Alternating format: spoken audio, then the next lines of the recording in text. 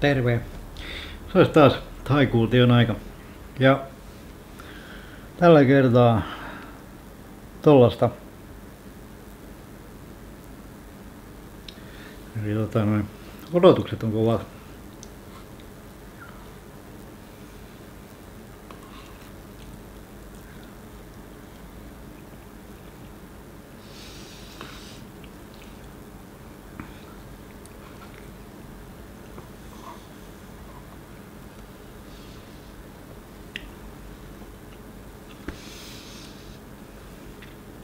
Siis niinku, ei, ei se tuosta parane enää.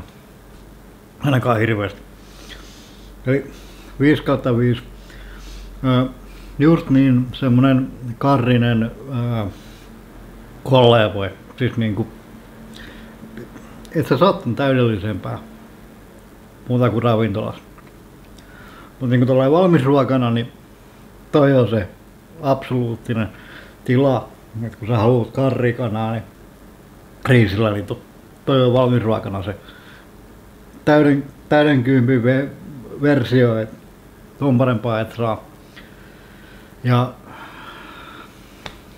mitä muuta mä voin sanoa.